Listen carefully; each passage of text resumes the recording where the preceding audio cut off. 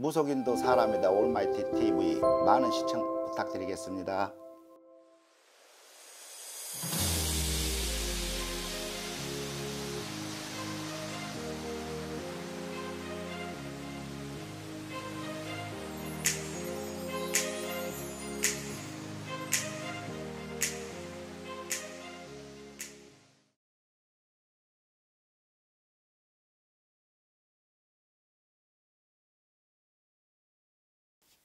안녕하십니까. 저는 전라남도 여수의 소원사 근암이라고 합니다.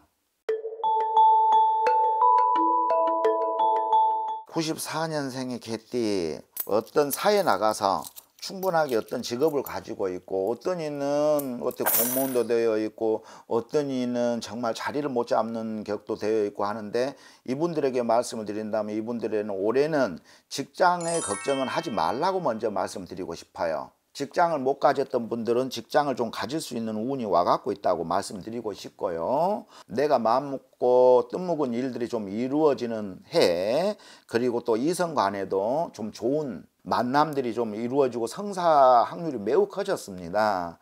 이분에게는 매우 좋다는 말을 좀 해드리고 싶어요.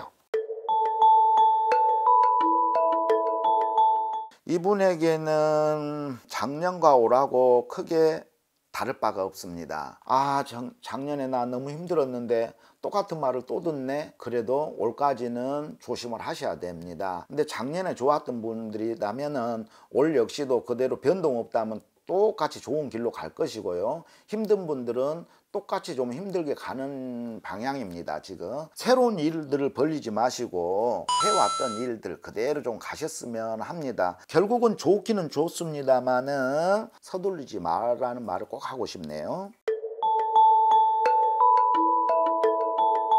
이분에 있어서는 첫째 건강 조심 적신호죠 70년생 개띠는 나이를 이제 조금 뒤돌아 봐야 될 나이입니다. 어떤 일이 있어도 올해부터는 평생 안 가셨더라도 올부터는 병원 찾아가 가지고 검사 제대로 받으시고 몸에 호가나식은 다 달고 있는 것 같아요. 병원에 가보면 어디가 문제가 있단 말들을 분명하게 한번 들을 수 있을 것입니다. 병원에 가라는 소리를 먼저 해드리고 싶고요. 형제 간에 있어서 다툼도 있을 수 있습니다. 올해는 좀 걱정이 좀 됩니다. 건강의 걱정, 가정 의 걱정, 몸이 건강해야 모든 걸 이룰 수 있으니 우선은 병원에를 자주 다녀란 말을 먼저 해드리고 싶어요.